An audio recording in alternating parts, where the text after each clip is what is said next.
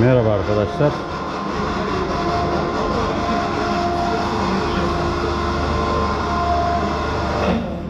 Merhaba arkadaşlar. Motosiklet felsefecisi Ruhi Usta kanalımıza hoş geldiniz. Bugün sizlere Aprilia Touareg 660 rodaj bakımı yapacağız. Touareg 660 ilk rodaj bakımı yapılacak arkadaşlar.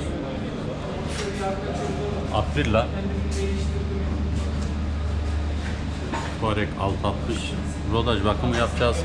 Yağdan analiz yapacağız. Yağsı nasıl çıkacak? Bakalım lastiklerimiz duplex telli ve duplex arkadaşlar. Şimdi karteli sökeceğiz. Kartelimizin 4 tane civatası var. Şurada iki civatamız var. Bu şekilde kartelimiz çıktı arkadaşlar. Çok basit bir şekilde takozları da var. Evet arkadaşlar Aprilia Touareg 660 rodaj bakımımız bitti. Şimdi bilgisayardan servis sıfırlaması yapacağız. Servis sıfırlamasını Şansal hocam yapacak. Şu an açıyoruz kontağımızı.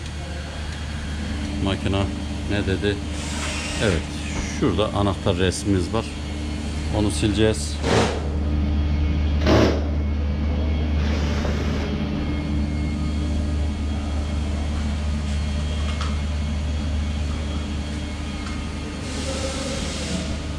Arkadaşlar şu anahtar resmi bilgisayara bağlanıp siliniyor.